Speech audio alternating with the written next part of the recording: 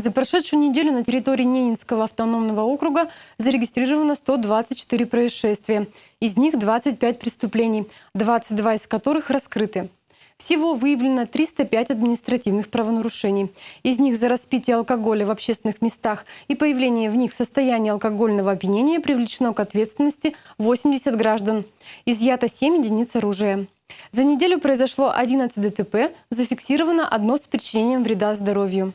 На минувшей неделе на территории округа проводились мероприятия по противодействию контрабанде, незаконному обороту спирта, алкогольной и табачной продукции. Выявлено два правонарушения. Сотрудники полиции с начала летнего сезона проводят профилактическое мероприятие под условным названием «Навигация-2016». Еженедельно по прибытию грузового судна в город Наринмар с транспортным средством и пассажирами сотрудники полиции осуществляют комплекс проверочных мероприятий. В ходе проверки грузовых и легковых машин инспектора ГИБДД проверяют наличие соответствующих документов, а также проводят сверку агрегатов транспортных средств. Кроме того, стражи порядка контролируют соблюдение правил перевозки опасных, крупногабаритных и тяжеловесных грузов. Мероприятия продлятся до окончания навигации. В течение прошлой недели выявлено два административных правонарушения.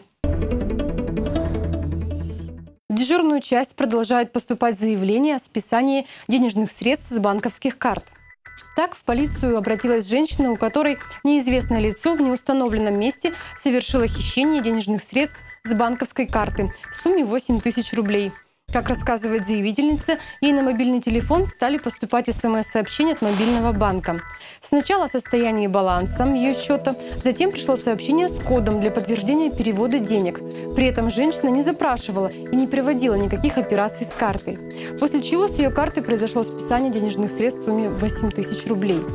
Сотрудники полиции настоятельно рекомендуют при поступлении уже первых смс-сообщений подобного рода незамедлительно связаться с оператором службы поддержки вашего банка банка, номер телефона указан на оборотной стороне карты, и заблокировать карточку. А также напоминаем жителям о том, что в сети интернет также орудуют мошенники.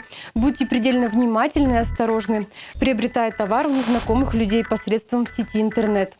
Еще один вид кражи, участившийся в округе, это случаи хищения личного имущества из подъездов домов, лестничных площадок и дворовых территорий.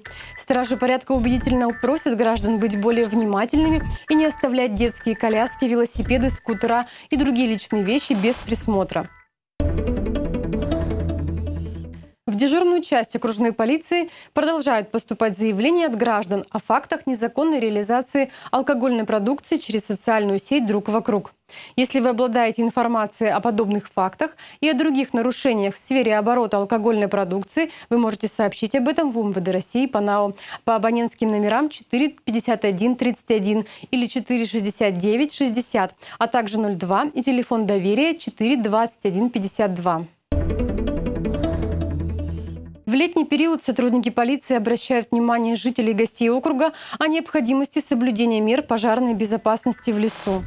Для нарушителей, пренебрегающих правилами пожарной безопасности, предусмотрена административная ответственность в виде штрафа. Напоминаем, что в лесу запрещено бросать горящие спички и окурки, оставлять промасленные или пропитанные бензином тряпки, оставлять бутылки или осколки стекла, разводить костры в местах сухой травы. При обнаружении лесного пожара незамедлительно сообщите в спасательную службу о данном факте. Кроме того, полицейские предупреждают соблюдать меры безопасности на воде. Отдых на воде – одно из самых любимых времяпрепровождений. Уважаемые граждане, будьте внимательны, не употребляйте спиртные напитки при купании, не оставляйте детей без присмотра и купайтесь в разрешенных местах. Только при соблюдении общепринятых правил отдых на воде будет безопасным.